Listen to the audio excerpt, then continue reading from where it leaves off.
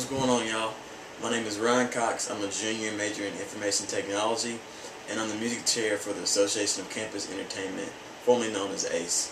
Um, what I want to discuss to you is the showcases at camp. First, the showcases is when all the schools that attend the NACA convention, they had this huge auditorium where musicians, comedians, magicians, and also other novelties and entertainment artists, they would show us their skills to convince us that they're good enough to perform at our school.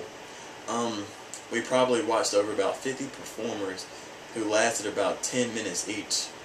Um, also, the performers were divided into sections like main stage showcases, uh, club showcases, MC location showcases, and uh, much more.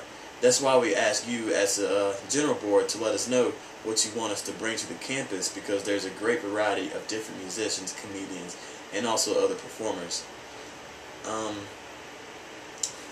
after the showcases is done, we usually head to this this little set called camp where you can meet and greet the performers and even other entertainment that didn't even get to perform and that were considered held as alternates. Also, you can talk to the agents about schedules and also the other artists that they may have that wasn't there. Um, as for the novelties, you can go to the booth and let them know we're having an event where we could probably use their equipment.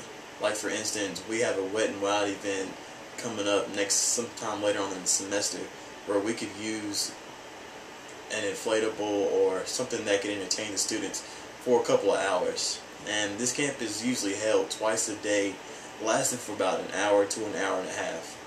As for the education sessions, education sessions, they're basically small sessions on how to improve your organization or maybe even better yourself. The one that I enjoyed the most was called Death by Presentation. Um, it was basically telling me how I can better my speech skills when in front of an audience. You just have to be fully prepared, construct a great presentation, and also know your audience. That's about it, all I have for you guys. Um, Kiki, Shelby, and Ryan, they can take care of the rest. So, see you later.